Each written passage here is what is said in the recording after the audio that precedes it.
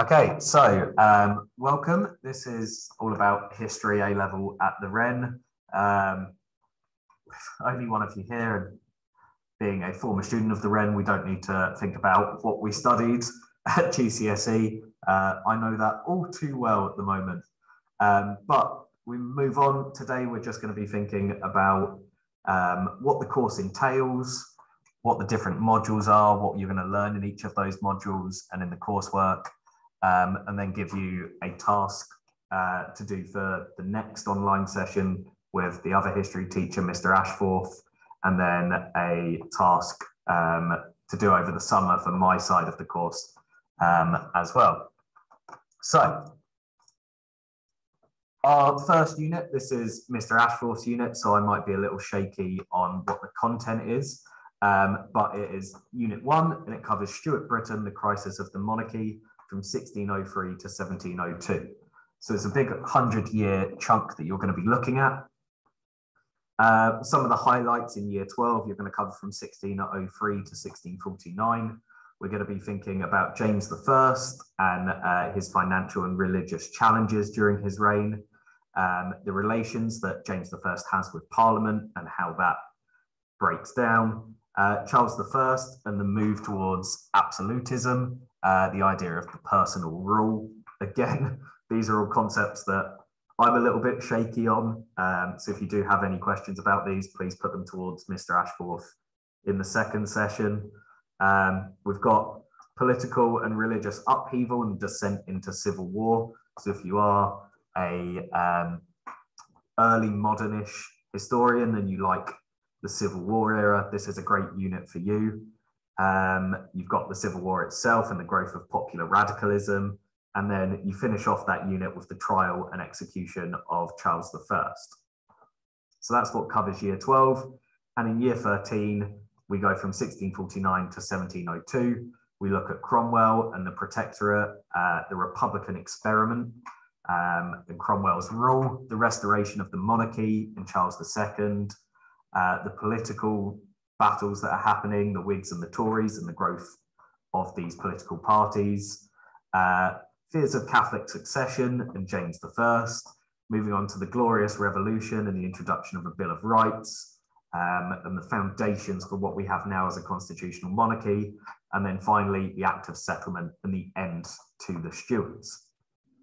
So that's just a brief overview of what you'll study in this module. In terms of what this looks like,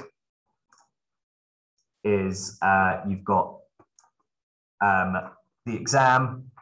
It's going to be three different questions that you need to answer. The first is going to be an extract question. Um, so with this particular paper, it makes you focus on interpretations. Uh, it requires you to consider and analyze the arguments of three different historians on a particular topic. Um, so whereas in this module, it's interpretations, when we move on, We'll look at mine, and that's all to do with sources as well. Uh, so you've got that competing idea of interpretations and sources. You'll need to use your own knowledge uh, to evaluate each of these three extracts as well. Uh, you then have a choice of two out of three essay questions, each worth 25 marks. These questions each span a period of roughly 20 to 30 years and ask you to consider an argument surrounding one of the key topics.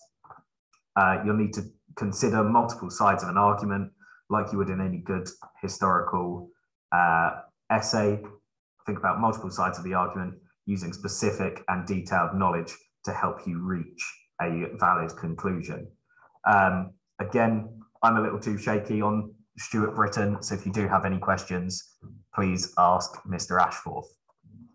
Moving on to my side of the unit, uh, we look at the American Dream. Uh, so the idea of the American Dream, reality and illusion from 1945 to 1980. This, um, well, I find this easier um, in the way it's broken down. So in year 12, we look at 1945 to 1963. And it's nice and easy to remember. Um, it's essentially the presidents, the presidencies of Truman, Eisenhower, and then Kennedy as well. Uh, we break that down even further. So we look at the domestic policy of each of those. we look at the foreign policy of each of those presidents and the civil rights policy of each of those presidents. Uh, we also look at the impact of the baby boom and economic growth of the 1950s. Um, one of my favorite things in the Eisenhower years, the introduction of McDonald's and Ray Kroc um, and what he does to essentially boost the economy of the US. Um, and then we sort of finish off year 12 by thinking about how big is America as a world power by 1963? Is it at the peak of its power? Has it dipped slightly? Has it grown from 1945 onwards? In year 13, we then, again, we look at four different presidencies, um, but in three different sections. So we look at the presidency of LBJ, so Johnson. We then look at Nixon's presidency, and then we lump uh, Ford and Carter together, even though they're different presidents, but because they serve such short terms, uh, we essentially do the same. We look at foreign policy of each, domestic policy of each, and civil rights policy of each. Um, but in this year 13 side, you get to look at this escalation and then eventual withdrawal from Vietnam. Um, you've got the Watergate crisis under Nixon, uh, which historians will argue is the end of the so-called American dream when Nixon um, lies and cheats to become president again. And then we think about how much of a world power is America after the 19 um, after 1980. We look at some key figures. I mean, Martin Luther King, Malcolm X for civil rights, uh, the presidents, their cabinets, their governments, uh, vice presidents. So, yeah, I really like this module. Uh, I think there's a lot here, and it, it covers a broad range of topics for what, if depending on what you're interested in. This one is similar in how it's assessed uh, to Unit 1. The only real difference is that question 1 is a source question. So it's still worth 30 marks and it requires you to consider and analyze the utility. So much like those GCSE questions that are about uh, how useful are sources A and B, it's a similar question to that, um, but it requires you to think a bit differently, thinking about the tone even of some of the uh, sources as well. Um, so it'll be for a specific inquiry as well. So it'll focus on one of the presidents um, and something that they did or a policy of theirs um, and you'll need to use your contextual knowledge to assess the utility and how useful these three sources would be for that particular inquiry. You then again have a choice of two or three essay questions. Each is worth 25 marks. Um, the questions tend to, tend to focus on one of the key topics, so either the domestic policy, the foreign policy, or the civil rights policy and they will often refer to one or multiple presidencies. Um, so it might just be something to do with the foreign policy of Eisenhower, or it might be to do with the foreign policy from Truman all the way through to Kennedy. Um, so you get a wide range of questions here that you can focus on. Uh, this is about using your own knowledge to engage in a certain historical debate surrounding the time period. Um, so these are some really in-depth questions and it allows you that choice allows you as well to focus and really get um, the grade that you deserve by picking the question that is going to best suit you. So these are our two examined unit we, uh, units. We then move on to the coursework or the NEA. Um, so we choose to look at Russia from 1855 to 1964. This is going to be mainly student led, um, so it's going to be a lot of your own research. But if you haven't got any idea what Russia uh, is about during these years, we do spend a couple of lessons going over the content and a quick overview of Russia for these above years. Uh, we then spend so several lessons looking at some key themes uh, and topics for questions. So thinking about maybe individuals, maybe ideologies, etc. The whole point of the coursework is again for you to engage in a historical debate. Um, so you'll come up with your own question and your own research that surrounds a certain debate to do with Russia. So it might be to um, how much was Lenin the driving force for political change, or something along those lines, where historians would argue it was Lenin. Other historians would argue the main driving force would be Stalin in these years. Um, so there's this real debate around it, and it's a nice bit of history for you to get your teeth stuck into. If you don't like Russia or you have an interest in something else, um, we are open to the idea of you picking a different topic. One of the girls uh, this year is doing her coursework on the suffragette movement and uh, women gaining rights. This does mean that you'll have less guidance uh, from myself and Mr. Ashforth, but again, if it's something that you're interested in, and as long as it fits um, with the other two units and meets the criteria that the exam board want, there isn't anything from stopping you doing that, but Russia will be able to guide you and help you um, with that. In terms of what this looks like, it's about a 4,000 word essay uh, that you would need to complete on a question of your choice. Again, it's all you that is going to be driving this. Um, you'll need to engage in this wider historical debate surrounding the time. Uh, you'll need to use your source analysis skills and your interpretation skills throughout this essay as well.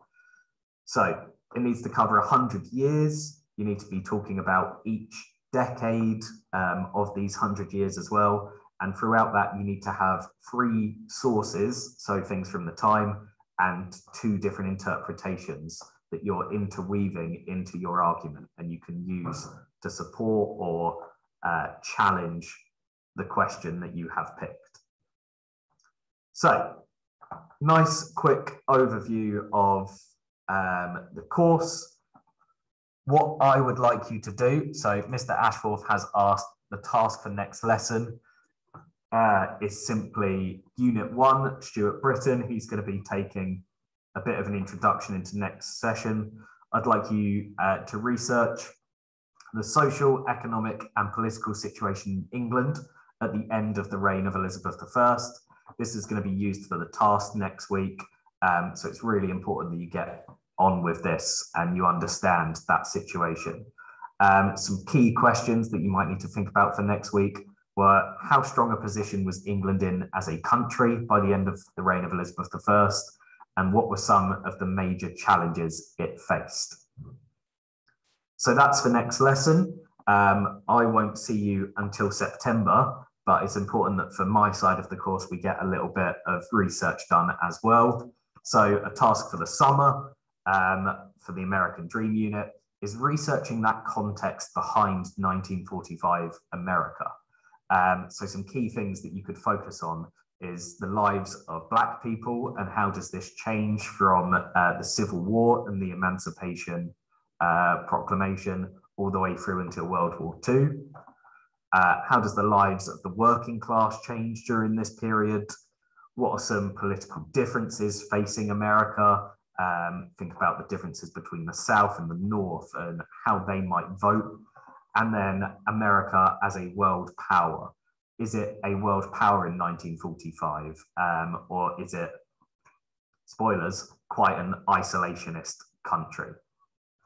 Okay so thank you. All right stop the recording. Fingers crossed. How was that thomas? Make sense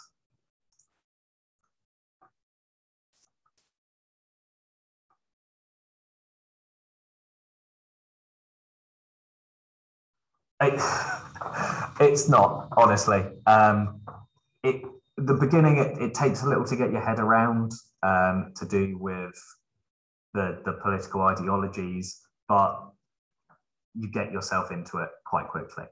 It's not that difficult. Um, yeah, 4,000 does sound like a lot, but you have so much time to be working on this. Um, and well, knowing you, I think that once you get into it, 4,000 almost seems quite restrictive.